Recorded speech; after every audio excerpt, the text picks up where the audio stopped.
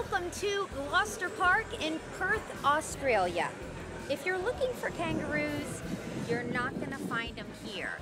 But what you will find are some of the best pacers in the entire world. It's Inter Dominion Day, baby. The 2015 Inter Dominion is the richest pacing series in the world, with purses totaling 1.8 million. The series works like this. There are 30 horses who make it into the series. All of them will race in three heats within a week's time. Then the top 10 point getters take eight days rest and return for the $1.3 million grand final. The Inter Dominion is traditionally known for attracting horses near and far, from all over the continent of Australia and from New Zealand. And like even this year, they had an Irish standout named Meadow Branch DJ fly in for this ultimate test. While the racing is obviously the centerpiece to the series, it's the festivities surrounding this event and all the fun leading up to the final that makes Inter Dominion Grand Final Day so incredibly anticipated. Let me brief you on the week that I had. I helped MC the Inter Dominion Final Post Position Draw, or as they call it in Australia, the Barrier Draw. And it wasn't just the connections of these horses in attendance, there were hundreds of people there soaking in the excitement of who would draw what post on the gate. I did a photo shoot alongside of the only female in the race, Liberty Belle Midfrew. Photographer Ashley Brennan took incredible photos for the West Australian. A dramatic dress, opera gloves, flowers, and barefoot in the sand. It was epic.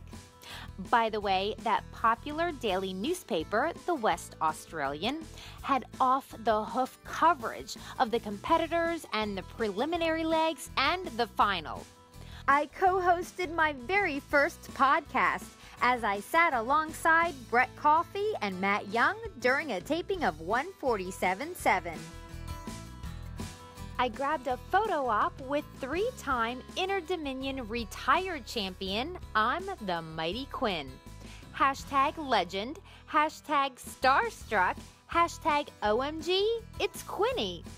I was the guest speaker at the ladies' luncheon, officially known as Déjeuner en Blanc, which means lunch in white featuring a couple hundred women dressed in white. Oh, I was so honored to be a part of something so beautiful and so full of girl power.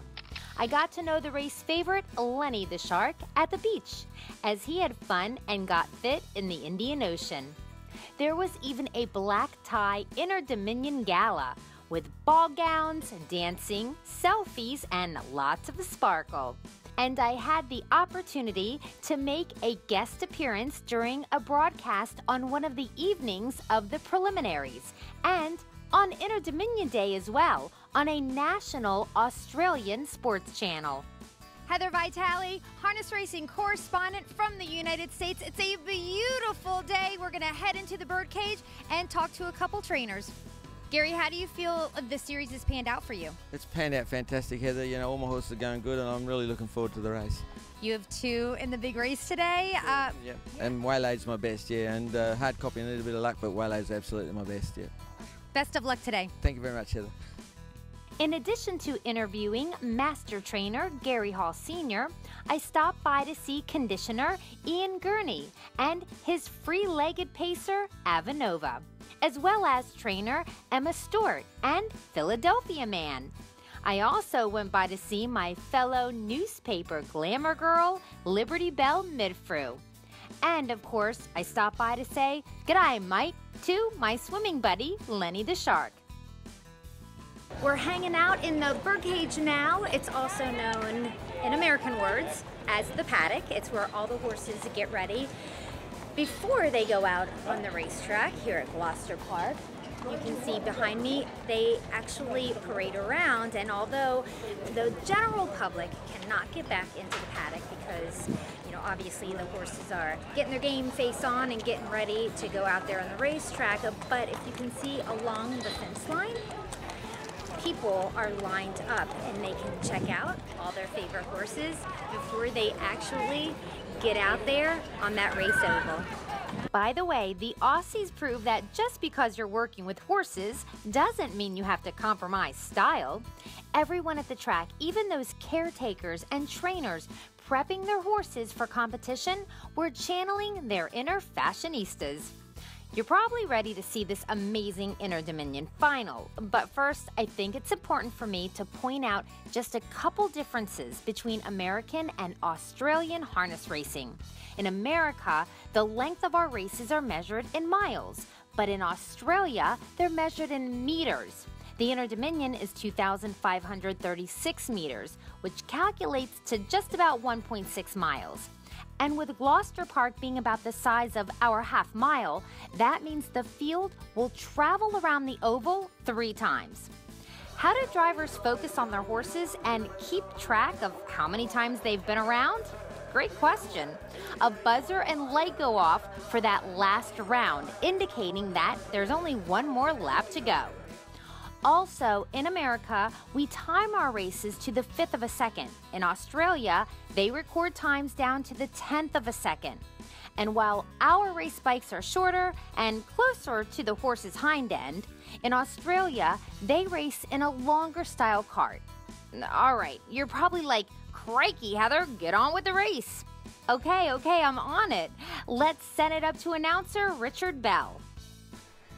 But the starter says yes, and the green light goes on, and it's Lover's Delight winning the start. Lenny straight into second. He went back immediately with Devendra. So it settles with not much pace early, and Lover's Delight leading the way. From Lenny the Shark, Flaming Flutter is down on the inside and waylaid. Hall Jr. gets in here in the right spot. He's one out and one back, and Avanova is on an early move, but Alford means business in the breeze. He wants to keep it. Avanova stuck out three wide. He might have to drag back. Back in fifth place, the Bolter are Blackbird, who's 100 to 1. Philadelphia man for the master, Gavin Lang. Sits about midfield, the moving line. Six metres to the mare. Liberty Belle Midfrew. My hard copy. Clinton Hall, he produced one of the greatest drives to win the Pacing Cup on this horse. He's second last on the inside, and Devendra is back last of all. They slow down again because Avanova had to go back and is all the way back to last, and it has a forlorn task now. In the straight, Lover's Delight for Chris Lewis and Stevie Reid rejuvenated twice in retirement. This horse, Lover's Delight, back on the track in front and doing it well past the pace. Lead time at 106.3. It's Lover's Delight by two metres. Past the birdcage from Lenny the Shark. Flaming Flutters on the inside. Waylaid is 1 1. Our Blackbird three back the inside. Philadelphia Man one out and two back. And probably close enough. My hard copies on the inside, then Liberty Belle Midfrew. Devendra second last for James Rattray looking for three Inter Dominions. And Avanova is back last of all. They're about to run off the back straight. Out in front it's Lovers Delight, Chris Lewis and Stephen Reid in the red colours. 30 seconds even. He's been beautifully rated, but Lenny the Shark is right there. Third Flaming Flutter. Fourth Waylaid 1-1. Fifth on the inside is our Blackbird. And they're followed by Philadelphia Man. Lang just sitting there and waiting. Then my hard copy on the inside. Liberty Belle Midfrew is third from last. Avanova. And last of all is Devendra. They're about to sprint hard. They go past the pace with Lover's Delight. Second quarter goes through. 28.8750 to go. Lover's Delight from Lenny the Shark on the outside. Flaming Flutter is running third. Waylaid is fourth. Fifth are Blackbird. Philadelphia Man is yet to go and they're sprinting hard. My hard copy travelling well with nowhere to go. Devendra taken out wider. Liberty Belle Midfrew. Avanova racing inside the 550. And it's Lover's Delight, two and a half metres. Lenny put under pressure. He's still coming though. It's Lover's Delight leading by head. To Lenny the Shark. Flaming Flutter running third. Our Blackbird the inside. Devendra out wide. What a clash we have. 27 for the next quarter. Lover's Delight just in front. Lenny the Shark trying to get to him. Then Flaming Flutter. It's Lover's Delight and Lenny the Shark stride for stride, nose for nose. Lenny the Shark takes the lead from Lover's Delight. There's no catching this shark. Lenny's the Shark has raced home to win the Inter Dominion. Jaws who? It's all about Lenny the Shark, coming in from Victoria, which is about 1,700 miles away from Perth. He was absolutely fierce for trainer David Aiken. I wasted no time jumping in and giving a congrats kiss to the six year old who scored two wins in one second in his prelims and then went on to win the over $1 million final. He and his driver Chris Alford never saw the pylons. As they say, the duo was punching the breeze the entire race. Lenny the Shark paced a mile rate of 154 and 8. The last 800 meters went in 55 and 8, and the last 400 meters in 28 and 4. Did you have to know all that? Well, for our entertainment purposes, not really. Basically, just know that it was a super fast, awesome effort. Winning owners Kevin and Martin Risley celebrated in the winner's circle, and I couldn't help but love Belinda's nails with Aiken stable colors. And the Risley children were swimming in cuteness as they showed their support for Lenny. Go Team Shark! Many people I know from the US say, I always wanted to go to Australia. I heard it's beautiful. I'll get there someday. Or, yeah, I've heard about the Inter Dominion. Sounds fun. It's on the list. Get it off the list. Is it a long journey? Well, do kangaroos take awesome selfies? Yes. Oh, come on. Did you think I was going to go to Oz and not touch a roo or get photobombed by a eucalyptus leaf? so, of course, it's a long journey, but it's also worth every second and more to get there. If you don't mind this globe-trotting filly elaborating in Australian slang, Inter Dominion Day is a ripper. Yeah!